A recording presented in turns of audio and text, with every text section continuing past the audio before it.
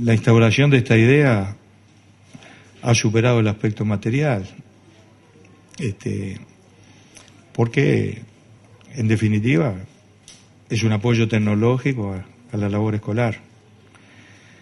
Pero se ha hablado mucho del Uruguay a través de eso, este, se ha transformado en un rasgo distintivo de nosotros frente a otras realidades.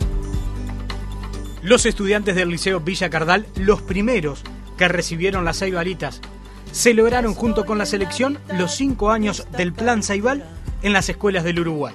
Los estudiantes entregaron una placa de agradecimiento que simula ser una Saibalita a cada uno de los jugadores.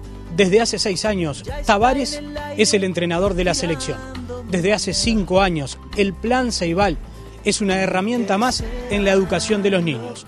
Ambos proyectos continúan porque, como dijo el maestro, el camino es la recompensa. Se supone de un grupo que consiguió cosas que no se conseguían antes. Lo del plan CB pasa por lo mismo. ¿eh? Tratar de,